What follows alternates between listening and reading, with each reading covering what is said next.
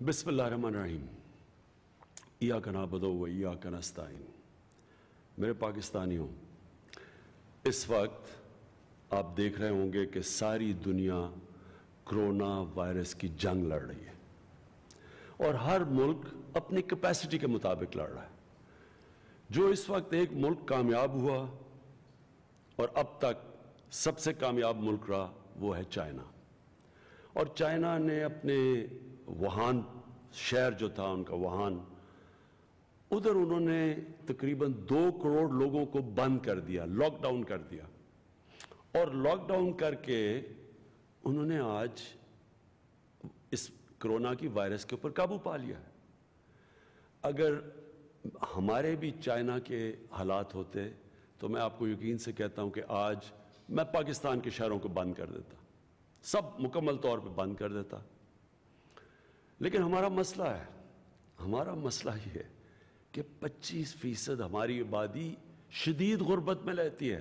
مطلب کہ دو وقت کی ایسے گھرانے ہیں جو کہ دو وقت کی روٹی نہیں کھا سکتے۔ اور اس کے اوپر بیس فیصد ایسے لوگ ہیں جو غربت کی لکیر کے ارد گرد ہیں۔ یعنی اگر ایک جھٹکا پڑتا ہے تو وہ بھی اس کے نیچے آ سکتے ہیں۔ تو ہم بات کر رہے ہیں تقریباً آٹھ نو کروڑ لوگوں کی۔ تو اگر ہم لاک ڈاؤن کرتے ہیں اور ان لوگوں کو ہم دھیان نہیں رکھ سکتے جو بالکل بے روزگار ہو کے گھروں میں بیٹھ جاتے ہیں، جن کے پاس کھانا پینا نہیں ہوتا، تو یہ کوئی کبھی ذہن میں ڈال لیں، کوئی کسی قسم کا لاک ڈاؤن کامیاب نہیں ہو سکتا۔ لاک ڈاؤن اگر ہم کریں اور ہمارے کچی آبادیوں کے اندر ایک ایک کمرے میں سات سات آٹھ آٹھ لوگ، ان کو ہم کہیں گے کمروں میں بند ہو جاؤ۔ اور ہم ان کو کھانا بھی نہ پہنچا سکیں۔ کوئی لاک ڈاؤن کامیاب نہیں ہوگا۔ اور اگر کسی کا خیال ہے کہ لاک ڈاؤن کامیاب ہو جائے گا، اگر ہمارے ڈیفنس کے یا اسلام آباد کے بڑے سیکٹرز کے لوگ اگر وہ بند رہ جائیں تو کامیاب ہو جائے گا۔ کبھی اس لیے کامیاب نہیں ہوگا کہ یہ ایک ایسی بیماری ہے جو امیر اور غریب میں فرق نہیں کرتی۔ اگر غریب علاقوں کے اندر لوگوں نے لاک ڈاؤن نہ مانا اور وہاں وہ ملتے رہے اور ویسے بھی مشکل کہ اگر وہ قریب قریب رہ رہے ہیں اور چھ چھ سات سات آٹھ آٹھ لوگ ایک کمرے میں، تو اگر ہمارا خیال ہے کہ اگر غریب علاقوں میں وائرس رہے گی اور وہ امیر علاقوں میں نہیں آئے گی، یہ ہمیں سمجھ آنا چاہیے کہ دنیا میں آج آپ دیکھ لیں کیا ہو رہا ہے۔ برطانیہ کے پرائم منسٹر کو کرونا وائرس ہو گئی ہے۔ تو یہ کوئی فرق نہیں کرتی کسی۔ اس لیے یہ ساری قوم مل کے اس وائرس کے خلاف جنگ لڑ کے صرف جیت سکتی ہے۔ نہ کوئی گورنمنٹ جیت سکتی ہے۔ کسی کا اگر خیال ہے، اگر امیر ترین ملکوں کا یہ حال ہے، آج اگر امریکہ کا یہ حال ہے، تو آپ خود ہی سمجھ لیں، صرف وسائل سے یہ کبھی بھی جنگ نہیں جیت جا سکتی۔ یہ ساری قوم انشاءاللہ جب مل کے لڑتی ہے، تو تبھی وہ جیت سکتی ہے۔ ہمارے ساتھ ہمسایہ ملک میں دیکھ لیں۔ ان کی حکومت نے فیصلہ کیا یا دو یا تین دن پہلے کہ سارا ہندوستان کو وہ لاک ڈاؤن کر دیں گے۔ آج وہاں حالات دیکھ لیں۔ آج حالات ایسے ہیں کہ ان کے پرائم منسٹر نے قوم سے معافی مانگی ہے۔ اور معافی یہ مانگی ہے کہ میں، ہم نے بڑی سوچے سمجھے بغیر لاک ڈاؤن کر دیا تھا۔ اور اب ہندوستان کا مسئلہ کیا ہے؟ ہندوستان کا آج مسئلہ یہ ہے۔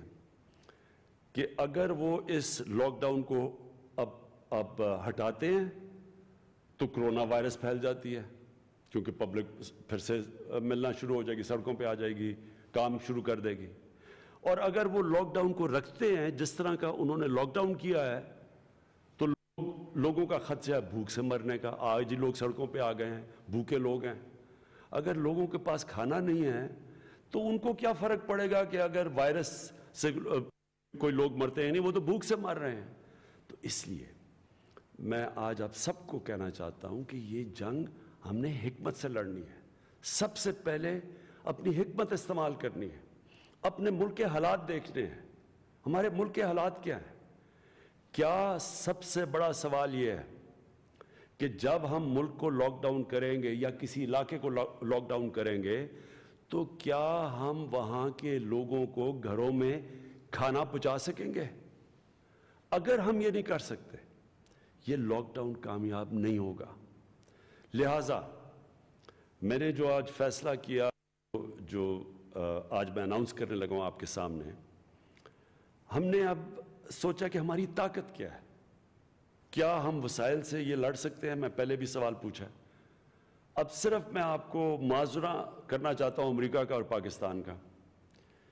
ہم نے اپنے بڑی مشکلوں سے پاکستان کی تاریخ کا سب سے بڑا ریلیف پیکج دیا ہے۔ تقریباً آٹھ ارب ڈالر۔ امریکہ نے بھی ایک ریلیف پیکج دیا ہے۔ وہ بنتا ہے دو ہزار ارب ڈالر۔ تو ظاہر ہے کہ وسائل تو ہمارے پاس نہیں ہے تو ہمارے پاس کیا چیز ہے؟ ہمارے پاس دو چیزیں ہیں۔ سب سے بڑی چیز ہمارے پاس ایمان جو قائد اعظم نے شروع میں پاکستان کی جب ہمارا جو موٹو بنائی تھی، یونٹی فیتھ ڈسپلن، اس میں ایمان سب سے بڑی ہماری طاقت ہے۔ اور یہ کیوں بڑی طاقت ہے؟ کیونکہ ایمان کی وجہ سے پاکستان کی وہ قوم ہے جو دنیا میں چار یا پانچ ملک ہیں جو سب سے زیادہ خیرات دیتی ہے دوسری ہماری طاقت کیا ہے؟ ہمارے نوجوان آبادی۔ اس وقت دنیا کی ہم دوسرے نمبر پہ سب سے نوجوان آبادی ہیں۔ ان ان دو طاقتوں کا اب ہم نے استعمال کرنا ہے۔ کرونا کی یہ جو وائرس کا مقابلہ کرنے کے لیے اور جنگ جیتنے کے لیے یہ ہیں دو پاکستان کی طاقتیں۔ تو پہلی چیز تو آج میں وہ جو اناؤنس کر رہا ہوں جو میں نے پہلے کہہ بھی دیا تھا میڈیا پہ۔ کہ کرونا کی ریلیف کے لیے ٹائیگرز فورس میں اناؤنس کر رہا ہوں۔ یہ جو ٹائیگر فورس ہے، کرونا ریلیف ٹائیگرز، یہ وہ نوجوانوں کی فورس ہوگی جو انشاءاللہ وہ جو ہماری کمیاں ہیں، وہ پوری کرے گی۔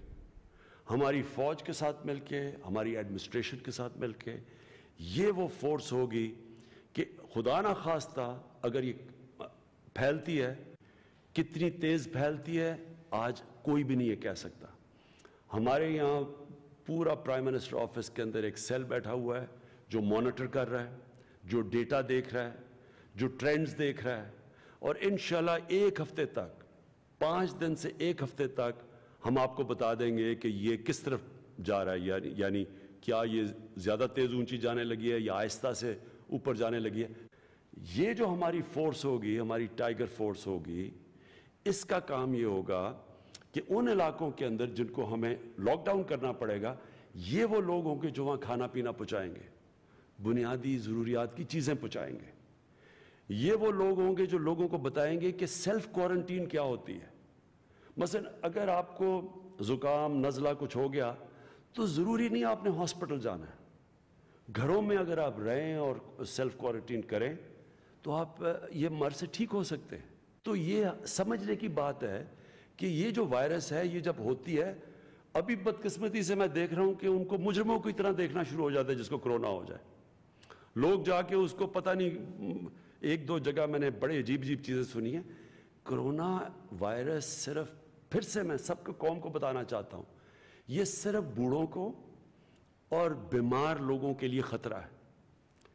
چار سے پانچ فیصد لوگ ہیں جن کو ہاسپٹل جانا پڑتا ہے۔ باقی لوگوں کو اگر سیلف کوارنٹائن ہو جائے تو وہ ٹھیک ہو سکتے ہیں اور انشاءاللہ ہمارے جو کرونا ریلیف ٹائیگرز ہوں گے، یہ جا کے لوگوں کو بتائیں گے اس چیز کا۔ اویئرنیس ہوگی۔ اس میں ہر قسم کے لوگوں کو ہم دعوت دے رہے ہیں۔ ینگ ڈاکٹرز ہیں نرسز ہیں، ہمارے اسٹوڈنٹس ہیں، ہمارے انجینئرز کسی بھی شعبے کے ڈرائیورز ہیں مکینکس ہیں، کوئی بھی اس میں شرکت کر سکتا ہے۔ اور ہم یہاں اپنے ڈیٹا بیس سے آپ کو باقاعدہ آرگنائز کریں گے اور بتائیں گے کس کس علاقے سے آپ لوگ ہیں اور ان علاقوں کے اندر انشاءاللہ ضرورت پڑی تو آپ کا، آپ کو ہم پھر بتائیں گے کہ آپ نے کیا کرنا ہے۔ ہم انشاءاللہ یہاں سے بیٹھ کے اس کا پورا جائزہ بھی لیتے رہیں گے، اس کو اینالائز بھی کرتے رہیں گے۔ اور یہ جو ہماری بڑی نوجوانوں کی ٹائیگر فورس ہوگی، یہ بھی ہمارے ساتھ ہوگی، سارے پاکستان کے ادارے بھی ہیں۔ اور انشاءاللہ ان کے ساتھ مل کے ہم وہ کمی پوری کریں گے جو اس وقت ہمارے پاس وسائل کے نہ ہونے کی وجہ سے کمی ہے۔ دوسری چیز، آج میں prime minister corona relief fund announce کر رہا ہوں۔ نیشنل بینک آف پاکستان میں یہ اکاؤنٹ ہوگا۔ یہ اکاؤنٹ آپ کی اسکرین پہ آ رہا ہے، لیکن یہ پرسوں سے کھلے گا۔ پرسوں سے اس اکاؤنٹ میں جو بھی پیسہ ڈالے گا، پاکستان سے باہر، پاکستان کے اندر کسی قسم کے سوالات نہیں پوچھے جائیں گے۔ اور جو بھی آپ پیسہ اس کے اندر ڈپازٹ کریں گے، اگر آپ اس میں سے چاہیں کہ آپ کی وہ ٹیکس میں آپ اگر وہ ڈکلیئر کریں گے تو آپ کو ٹیکس ریلیف ملے گا۔ اس میں ٹیکس میں چھوٹ ملے گی۔ ٹیکس ڈیڈکٹیبل ہوگا۔ تو یہ جو اکاؤنٹ ہوگا، اس اس کا مقصد کیا ہوگا؟ کہ جو ہمارے احساس پروگرام میں اس وقت ایک کروڑ بیس لاکھ لوگوں کو ہم گھروں کے اندر پیسے پہنچا رہے ہیں، بارہ ہزار روپے۔ ان کو اگر ہم نے مزید بڑھانا پڑے، تو یہ جو فنڈ ہوگا اور بڑھانا پڑے گا، کیونکہ لوگ بے روزگار ہوئے ہوئے اس وقت، تو ان کو گھروں میں پیسہ پہنچانے کے لیے یہ سارا فنڈ کی ہماری پوری کوشش ہی ہوگی کہ اس فنڈ کے ذریعے ہم لوگوں کو پیسہ پہنچائیں۔ اور ظاہر ہے، یہ اگر یہ لمبا جائے گا، تو اس کے لیے ہمیں اور پیسے کی ضرورت پڑے گی۔ تو یہ فنڈ کا آپ کو پتہ بھی چلتا رہے گا، اس کی آڈٹ ہوگا، آپ کو پتہ ہوگا کہ فنڈ کدھر جا رہا ہے۔ کوئی بھی پتہ چلوانا چاہے تو انشاءاللہ اس فنڈ کے اوپر ہم آپ کو مکمل طور پہ انفارمیشن دیں گے۔ اور تیسری چیز اسٹیٹ بینک آف پاکستان نے یہ فیصلہ کیا ہے کہ جو بھی بزنسز اپنے مزدوروں کو ورکرز کو بے روزگار نہیں کرے گی اسٹیٹ بینک آف پاکستان ان کو سستے قرضے دے گا۔ اور چوتھی چیز، ہمارے احساس پروگرام کی جو جو فیس بک پیج ہے اس فیس بک پیج کے اوپر ایک طرف ہم کہیں گے کہ جو بھی لوگ چاہتے ہیں، کسی گاؤں میں بیٹھے ہیں، ان کو راشن کی ضرورت ہے، وہ اس کے اوپر رجسٹر کریں۔ اور دوسری طرف جو بھی لوگ خیرات دینا چاہتے ہیں، جو بھی چیریٹی کرنا چاہتے ہیں، وہ لوگوں کو وہ رجسٹر کریں اور ہم آپس میں ان کو ملا دیں گے یعنی جو خیرات دینا چاہتا ہے، ہم بتا دیں گے کہ کون سے گاؤں میں، کون سے محلے میں لوگوں کو اس خیرات کی ضرورت ہے، راشن کی ضرورت ہے۔ تو ہم صرف ہمارا کام ہوگا کہ احساس پروگرام کے ذریعے سارے جتنے بھی پاکستان میں خیراتی، کوئی خیرات کرنا چاہتا ہے، کوئی کسی قسم کے کوئی راشن دینا چاہتا ہے، کچھ بھی جو بھی کرنا چاہتا ہے، وہ سارے رجسٹر کریں۔ اور ہماری کوشش یہ ہوگی کہ ہم ساروں کا، تاکہ پیسہ ضائع نہ ہو، تاکہ یہ نہ ہو کہ ایک ہی جگہ سارے لوگ خیرات دے دیں، دوسری جگہ لوگ بھوکے رہیں۔ ہم ان کو سارے ایک ایک ملک کے اندر بتائیں گے کہ کدھر کس چیز کی ضرورت ہے اور کون سا ادارہ کدھر کام کر رہا ہے، تاکہ جو پاکستان کا ریلیف ایفٹ ہے، وہ پہلی دفعہ پاکستان کی تاریخ میں کوارڈینیشن سے چلے۔ میں جب ریلیف کام کر رہا تھا فلڈز کے اندر، اور اس سے پہلے جو زلزلہ آیا تھا تب، تو کئی جگہ یہ ہم دیکھتے تھے کہ سارے لوگ جا کے ایک ہی جگہ سامان دے دیتے تھے۔ اور پہاڑی کے دوسری طرف، مثلا جو پہاڑوں میں جب زلزلہ آیا تھا، تو دوسری طرف لوگ بھوکے تھے اور وہ ٹرک لوٹ رہے تھے۔ اور کئی جگہ ہو رہا تھا کہ جب اتنا زیادہ سامان تھا کہ لوگ، لوگوں نے سامان بیچنا شروع کر دیا اور دوسری طرف بھوک تھی۔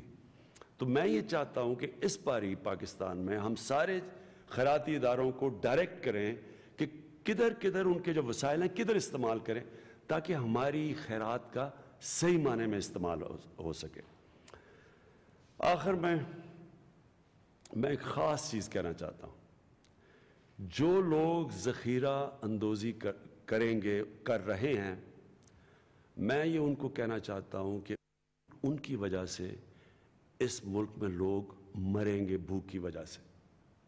آپ جب ذخیرہ اندوزی کرتے ہیں جب آرٹیفیشل چیزیں، چیزوں کی کمی ہوتی ہے، اس کو دیکھ کے سارے لوگ چیزیں افراتفری میں جا کے، گھبرا کے، خوف میں سارے لوگ جا کے چیزیں خریدنے شروع کر دیتے ہیں۔ اس سے یہ ہوتا ہے کہ ایک دم کمی ہو جاتی ہے اور چیزوں کی قیمتیں آسمان پہ چلی جاتی ہے اور اس سے کیا ہوتا ہے؟ ہمارے کمزور اور غریب لوگ بھوکے رہ جاتے ہیں۔